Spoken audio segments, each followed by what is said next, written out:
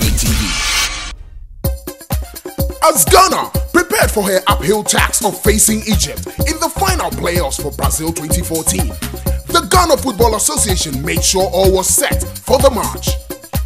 On Saturday, the FA organized an entertainment time for the team to help ease tension. First to visit was the old school mate of coach Kwesi Appiah, who decided to throw their weight behind their old mate. Made us understand Coach Appiah used to be a hockey keeper and his nickname was Yauhi. After pleasantries, they decided to sing their school anthem.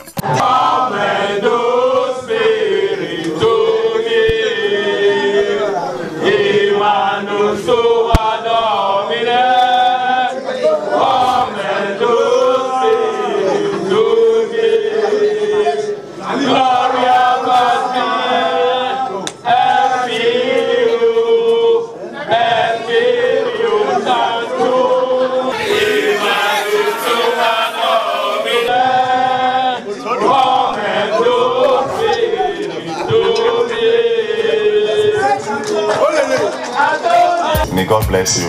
And we will do our best not to let you and the nation down.